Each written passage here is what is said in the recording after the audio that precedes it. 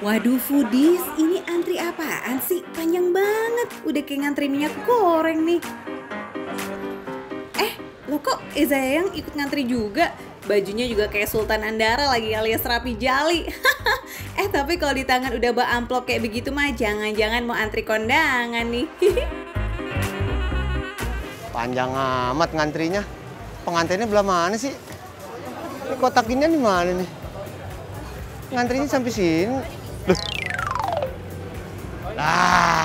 Ini mah bukan ngantri kawinan. Hei, halo. Udis, ini bukan ngantri kawinan ya. Ini ngantri makanan yang lagi viral banget. Yang lagi viral banget ini. Lesehan Bu Gendut. Nah, lesehan Bu Gendut itu. Tuh, ini lagi ngantri sampai sini. Ya, coba kita makan. Nah, ini kasih siapa? Buat buat makan aja, buat bayar Wah, foodies ngeliat makanan berjejer sepanjang ini plus antrian yang rame bingit. Makan di sini berasa udah kayak vibes kondangan ya. Pantes salah sih. gak heran sih foodies kenapa kuliner yang satu ini gak pernah sepi pembeli. Soalnya menu yang disajikan bervariasi. Total ada 104 menu. Wow, mantap jiwa. Nah sekarang saya males kalau dilayanin ya. Kalau udah begini enak ngambil sendiri nih. Eh, ini pegang. Iya. Selamat ya, semoga bahagia. Gak ada isinya itu. Aduh foodies, jangan ditiru nih ya. Siapa yo kalau kondangan modal amplop kosong doang ngaku. ya udah ya, nggak apa-apa sih gagal kondangan. Yang penting nggak gagal makan enak kita. Apalagi makan di sini juga nggak kalah lazis kok.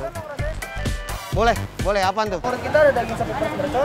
Oh boleh, boleh. Sapi, sapi mercon ya? Gudegnya boleh deh, gudegnya. Nah gudegnya ini yang yang, yang viral ya. Mau pakai telurnya sekarang ya? Telurnya, telur pindangnya, nggak usah pakai kreceknya dikit. Meski didominasi menu-menu khas Jawa Tengah, kuliner dari seluruh daerah juga bisa ditemuin di sini. Pilihannya unlimited deh pokoknya. Nah, Udis, saya ngambil yang memang lagi di, terkenal di lesehan Bugendut ini ya. Jadi ada gudegnya, kreceknya, terus ada ini ada eh, mercon, sapi sa- sapi mercon. Terus ini nih melinjo, Nah, terus sama ini nih kentang kentang Indonesia, jengkol balado nih yang ini ya. Waduh foodies, banyak juga ya yang diambil sama Eza Yayang. Tapi kalau melihat macam-macam menu di sini sih, bawaannya kita bisa otokalap juga deh nih. Oke, Mas, ini saya bawa ke meja. Saya boleh minta yang spesial di sini, tapi di, dibawa ke sana aja. Terima kasih. Sama-sama. Kita langsung ke meja ya.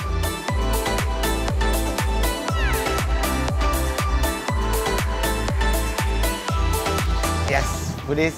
Ini udah datang makanannya semua ya. Nah, ini yang yang spesial-spesial yang uh, menurut yang si Lesehan Bugendut ini. Kita mulai dari dari sini deh. Kita mulai dari sini deh. Ini kita review ini ya. Ini empal ya, empal dan memang empal empal goreng. Empal goreng. Coba bentar kita cobain sambal dulu.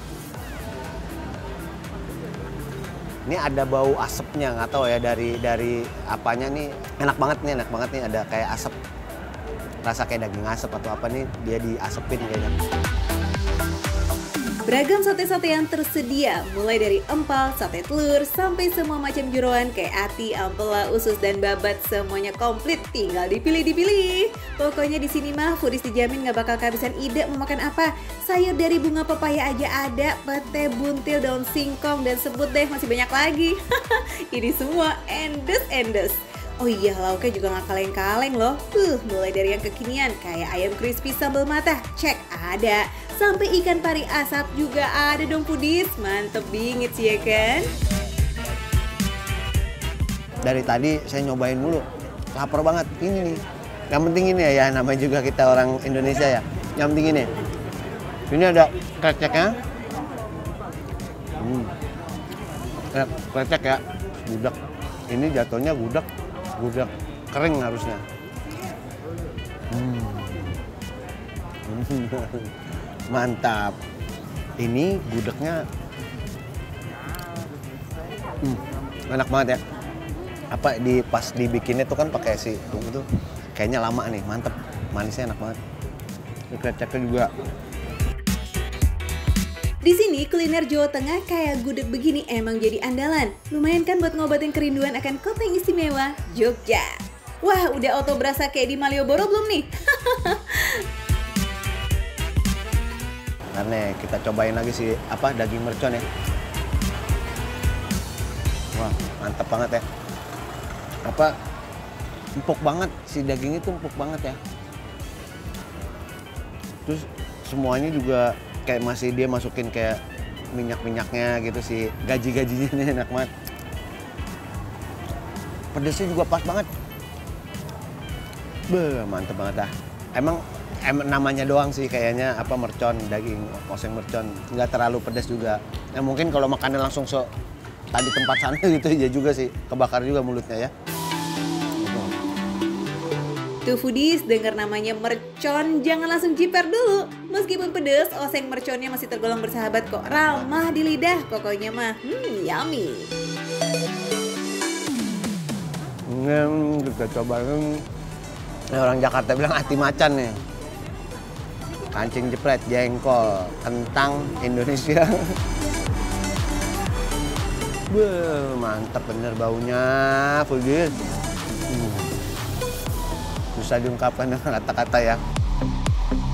Ini nih yang paling dicari sobi jengkol mania. Biar dikata aromanya semeriwing, justru ya bikin makan semakin lazis si jengki yang satu ini. Enak lah, ini lebih enak lagi kalau kena yang segar-segar nih. Ini kebetulan ada mereka juga nyediain di sini ya. Ini ada sop buah. Ini dalamnya ada pepaya. Cuman segar banget. Jadi ah, teman-teman harus nyobain kemarin ya. Ya saya pokoknya di sini yang paling saya suka adalah ini apa oseng daging mercon. Gimana foodies? Udah tergoda belum buat icip-icip 104 macam menu di sini? Menu-menu langka dan juga andalannya nih, oseng mercon wajib banget dicobain. Soal rasa, gak ada yang fail deh. Apalagi kalau sambil lesehan begini, wih, vibes makannya definisi posisi wena.